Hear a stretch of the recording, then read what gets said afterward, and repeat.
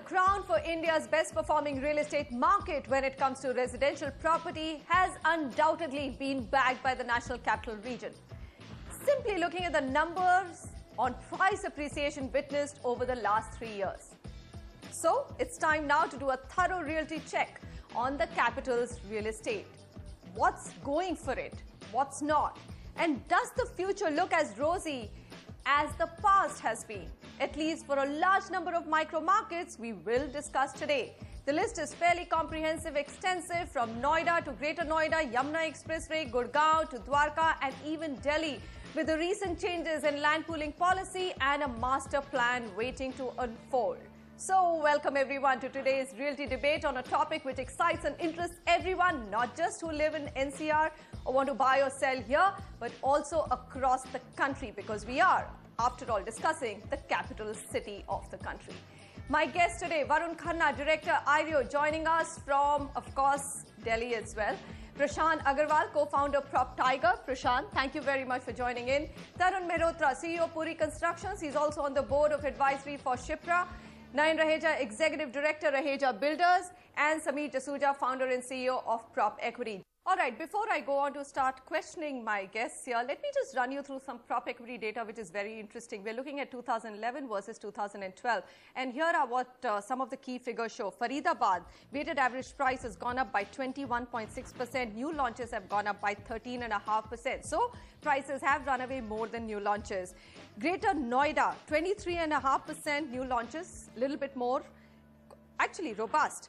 20.6% is the weighted average price increase. So that's a market which hasn't done very well. We're talking about Greater Noida. It has been plagued by some controversies as well.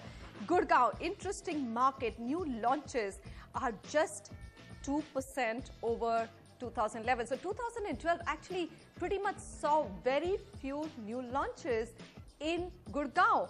And price rise also has been 17%, not as much as some other markets have performed. New Delhi, well, prices have gone up 16%, which is okay. And Noida prices have gone up 16.5%, but new launches have actually dipped in Noida.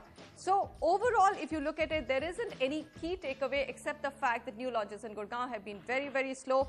NCR overall new launches have declined and that could probably be the reason why prices have gone up by as much as 18.5% if you take an average of all these micro markets. So I'm going to start with you, Tarun. Tell me, what went on? What worked for this market in the last one year? 11 to 12. Well, Manisha, various reasons, largely being NCR is the barometer of economic growth. So it's a clear indicator that economic opportunity in this country lies in this region. There are more and more people coming, companies are flourishing. These are not necessarily people from within or as you call pure investors. When you sell off plan, large, a, large number of investors are of course investors. Mm-hmm. But these are end user investors who cannot buy ready properties, but they can buy under construction properties. That's why you will see, or many times there is a comparison between resale and off-plan properties, new properties. New pro new properties are doing far better than resale of properties. Mm -hmm, mm -hmm. That's because the new end user segment is coming in. So you have actually coined a very interesting new terminology today on the show, which is end user investor. So let me bring in Varun here because IREO has of course made its biggest bets in the NCR region. Varun, what's going on in this market?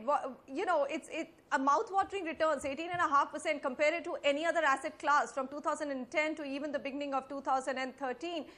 Real estate in NCR has definitely beaten every other asset class hollow. Forget about all other cities in the country hollow. So, what according to you was the biggest reason? Simply because it's a hugely investor-driven market? Uh, look, I'll tend to endorse what Tarun shared as, uh, you know, the big reason why uh, NCR continues to be the big focus of uh, the market in India.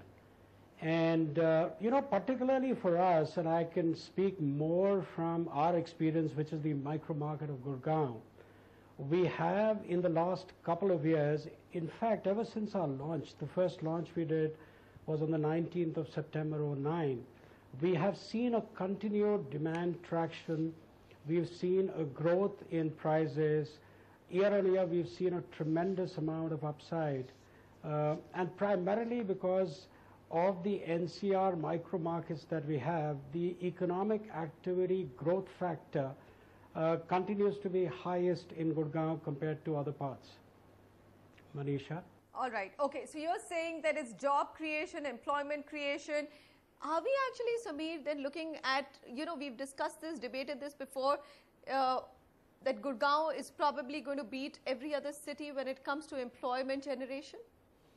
Well, uh, I think I can't answer that question because I don't track employment data as such, and I would think Bangalore probably would overtake Gurgaon with respect to employment generation, especially in the IT sector, which seems to be driving real estate all throughout the country, especially in tier one cities. But the demand supply mismatch. Mm-hmm. So if you look at Gurgaon, it still supplies only about 25,000 units a year.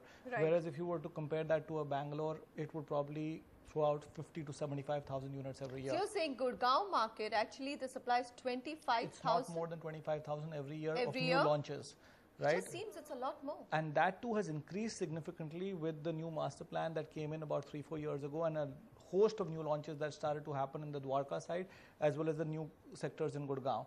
Uh, having said that, also what has really helped Gurgaon is that the execution has been so slow that a lot of stuff has been launched, but not very much has got completed.